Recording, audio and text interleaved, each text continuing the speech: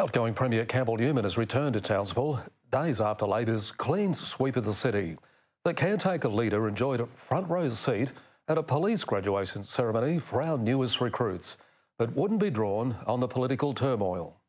Campbell Newman was a frequent visitor during his fight to keep the top job. Today, the defeated Premier was back to do what he says is his duty. I'm not a politician anymore. Uh, I'm here fulfilling my responsibilities to look after Queensland during this caretaker period. The LNP's former leader was happy to front the cameras, but wouldn't respond to questions over his replacement.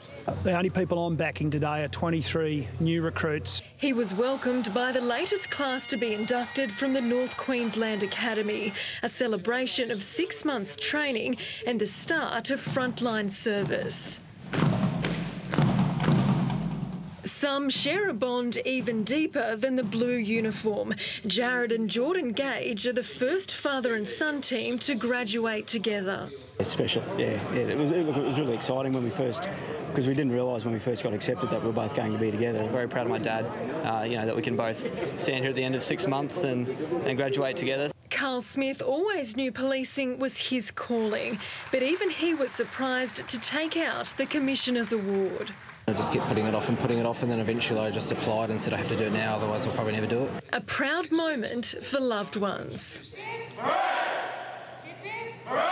16 of the new recruits will be based here in Townsville, with another nine posted to Cairns. They'll all hit the beat on Monday. They have to have that courage of conviction uh, to stay with their principles, to do the job in the best possible way for Queensland. Claire Barnes, 7 News.